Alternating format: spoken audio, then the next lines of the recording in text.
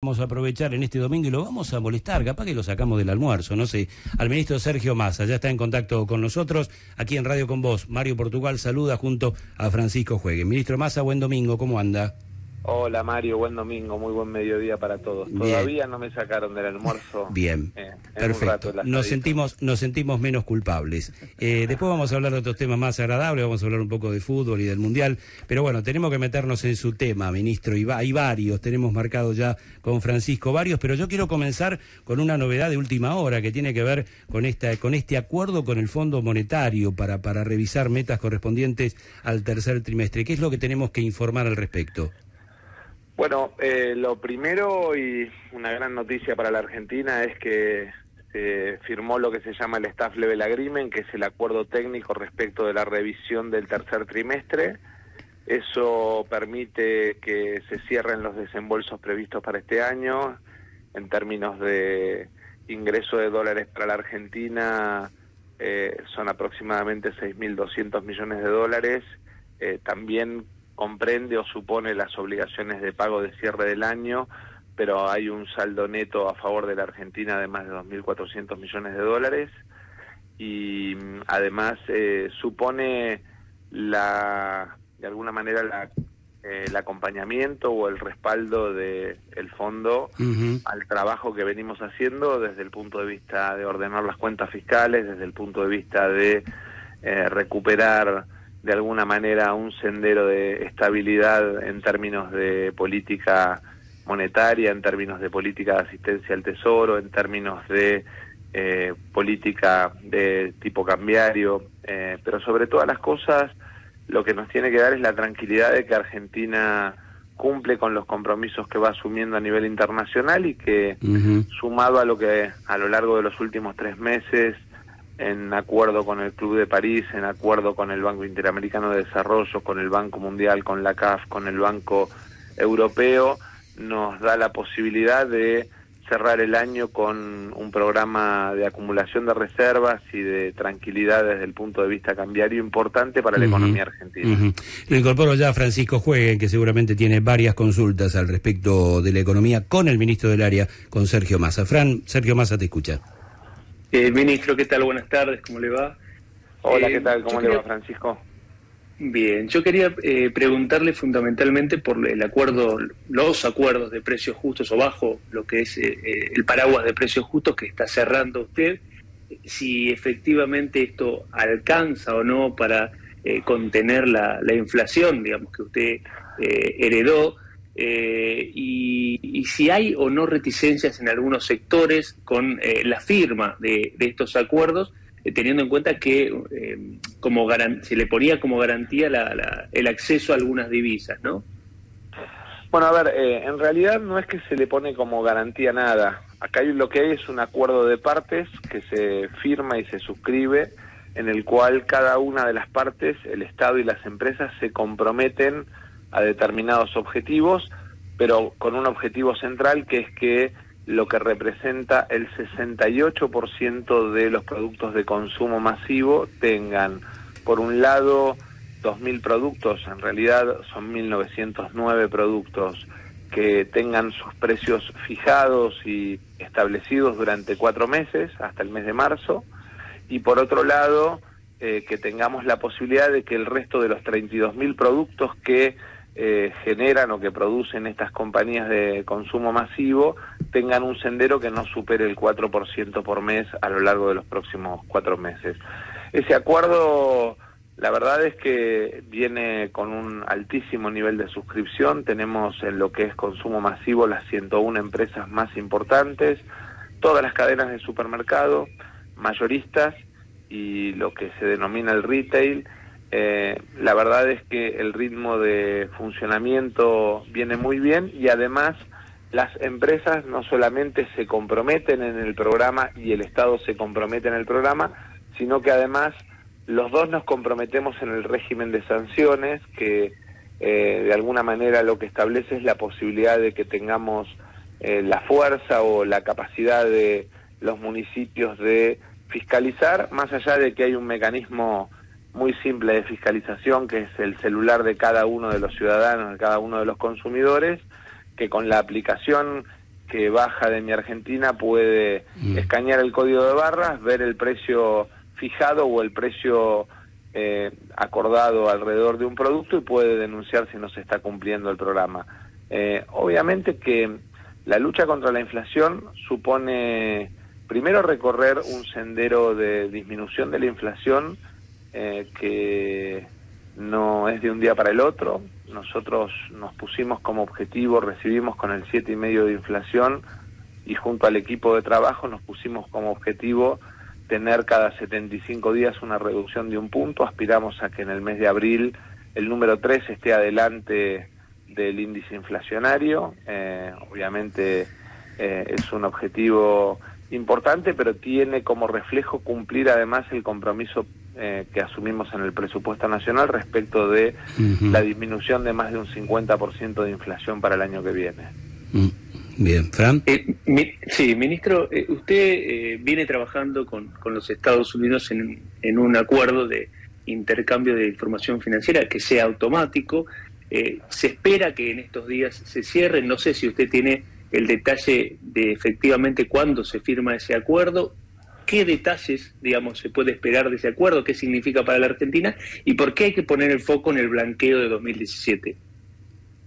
Bueno, a ver, en primer lugar, eh, venimos trabajando desde eh, la siguiente semana a la que asumí como ministro. Ustedes recordarán que hicimos eh, una semana de trabajo en Estados Unidos con varios frentes, Banco Interamericano de Desarrollo, Fondo Monetario Internacional, Tesoro de Estados Unidos, Departamento de Estado y Congreso de Estados Unidos.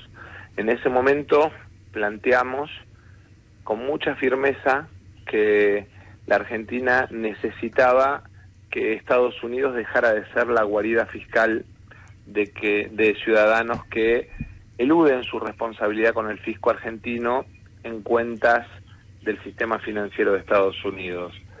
Y quiero contarte, Francisco, y contarle a toda la audiencia que mañana a las 12 del mediodía se firma el acuerdo en un acto que vamos a realizar junto al embajador Stanley y a la Administración Federal de Ingresos Públicos en el CCK, en el Centro Cultural Kirchner, eh, y que de alguna manera eh, nos permite poner en vigencia la firma desde el primero de enero de todo el programa que se llama Ley de Cumplimiento Tributario de Cuentas Extranjeras o Acuerdo FATCA, eh, y nos permite a partir del primero de enero poner en marcha la implementación del FATCA. ¿Qué supone esto?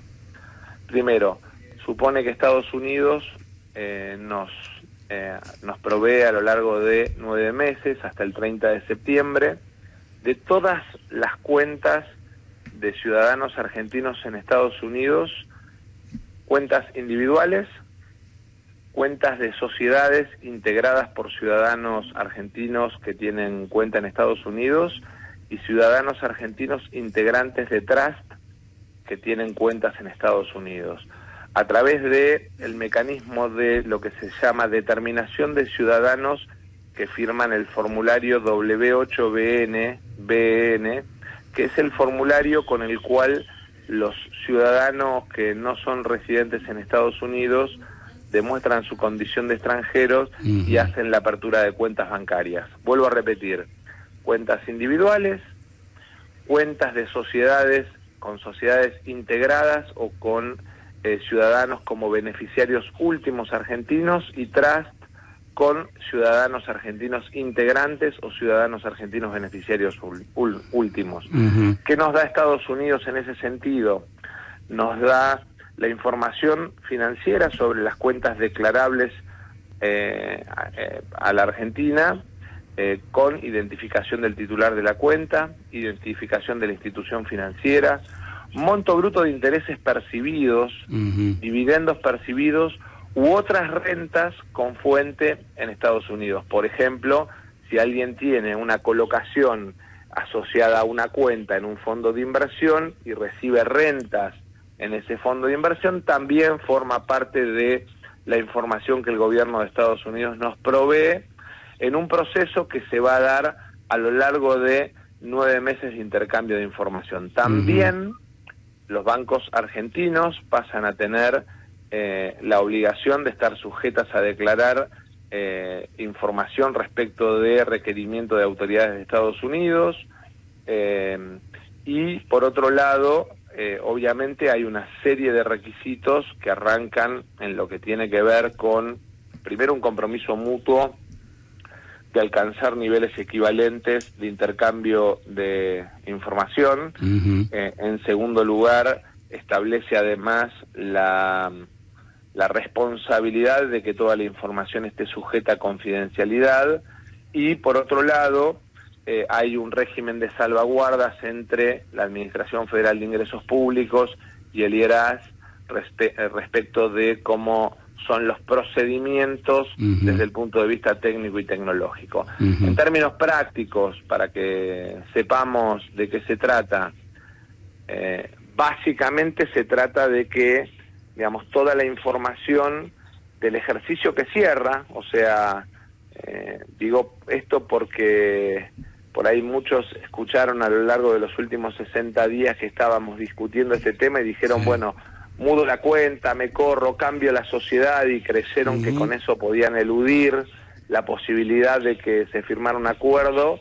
Eh, lo cierto, lo real y lo concreto es que se hace ejercicio cerrado, con lo cual la vigencia a partir del primero de enero nos pone en acceso a la información a la Argentina de información de cuentas desde septiembre del año pasado, septiembre del 2021. Eh, me parece que esto es muy importante, lo vamos a acompañar pidiéndole al Parlamento un tratamiento respecto de eh, regímenes de, exteriorización, eh, que en el día de mañana vamos a informar eh, por la tarde cuáles son los principios que vamos a enviar al Parlamento, eso lo va a hacer la Administración Federal de Ingresos Públicos y la Secretaría de Ingresos Públicos, pero en principio vamos a, trabajar para que antes del 30 de diciembre el Congreso lleve adelante el tratamiento de una normativa que permita que entre el primero de enero y el 30 de septiembre aquellos argentinos que no hayan exteriorizado tengan la oportunidad de hacerlo con tres, eh, tres tercios, con regímenes que van desde eh, un principio mucho más beneficioso hacia, digamos, un régimen que establece que a partir del primero de octubre del año que viene, la aparición de esas cuentas eh, prevé no solamente sanciones desde el punto de vista económico, sino desde el punto de vista penal. Respecto del blanqueo mm. llevado adelante en el 2016-17, eh, cuando alguien realizó el blanqueo y ocultó eh, parte de la información respecto de bienes o activos en el extranjero, o generó digamos, después de haber llevado adelante la exteriorización eh, de bienes eh, y con el fisco argentino. Y establece o, o, se accede a información que demuestra que eh, se violó ese acuerdo con la Administración Federal de Ingresos Públicos, de alguna manera lo que estamos es, tal como lo prevé la ley de ese entonces, frente a la caída de ese blanqueo y la necesidad de, digamos, volver a eh, revisar todo el patrimonio y el régimen de exteriorización que se realizó en ese entonces y el que se debe realizar ahora. Bien, eh, estaremos atentos entonces al acto de mañana al mediodía. Eh, no sé si, Fran, tenés alguna pregunta más y ya, ya lo vamos despidiendo porque lo quiero dejar comer, almorzar al, ministro Massa. Estamos solamente, solamente preguntarle por el tema de la sequía, ¿cómo lo ve para adelante? Bueno, obviamente con mucha preocupación. Ustedes saben que por un lado pusimos en marcha un régimen eh, que permite financiar a los productores de hasta 100 y 400 hectáreas el 40% de los gastos de lo que es la siembra. Por otro lado, eh, no solamente estamos viviendo sequías, sino que estamos viviendo heladas tardías, granizos tardíos, en todo lo que es la economía de fruta cordillerana. Eh, tenemos previsto para todo el periodo enero-marzo del 2023 aproximadamente 168 mil millones de pesos de instrumentos para atender las emergencias de todo lo que es el sector y las economías regionales, más las cadenas de valor. Eh, aspiramos además a que mm, el régimen de lluvias que prevé eh, de alguna manera todo lo que es el sistema de mapeo satelital que tiene o que, tenemos de información del INTA eh, se cumpla porque eso aliviaría un poco la situación, pero claramente en algunos, eh, en, en, algunos casos, el caso del trigo mm. respecto de sequía y el caso de la fruta cordillerana, algunos ven solo manzana y pera, pero es manzana, pera, cereza, la vitivinicultura, están profundamente lastimados y por lo tanto entre el primero de enero y el 30 de marzo vamos a poner en marcha un régimen de asistencia por un lado y un régimen de incentivo por el otro que venimos trabajando con las provincias. En paralelo, necesitamos para que accedan a todos los beneficios que supone la declaración de emergencia de cada productor, que las provincias por ley declaren la situación de emergencia de eh, determinados productores o determinadas regiones, porque eso nos habilita, por ejemplo, a aumentar los niveles de fondeo del Banco Nación, a llevar un régimen de tasa cero en créditos, a mm. llevar un régimen de aportes no reintegrables con mucha más facilidad para los productores en el modelo de lo que fue la ATP. Así que en esto el secretario de Agricultura tiene la instrucción mía de trabajar en coordinación absoluta con todos los secretarios y ministros de Agricultura del país. Bien, sí, porque son más de 22 millones de hectáreas ¿no? que están en condición de sequía severa, según se informa.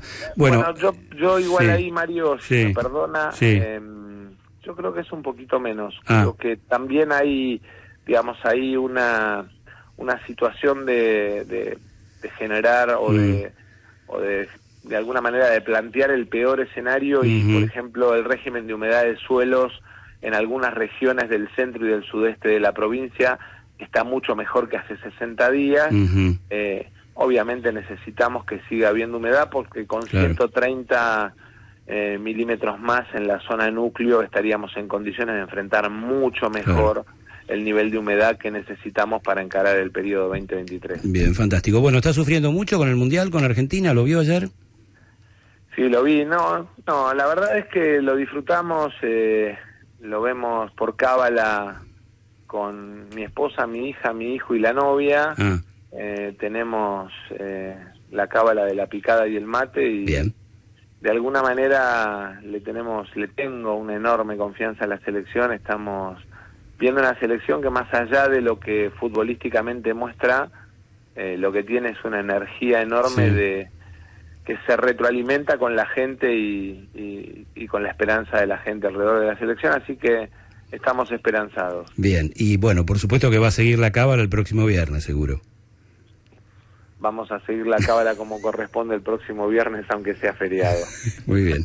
Ministro Sergio Massa, gracias por este contacto con Radio con Vos. Sé que tenga buen domingo y buena por favor, muchísimas gracias a ustedes. Un abrazo.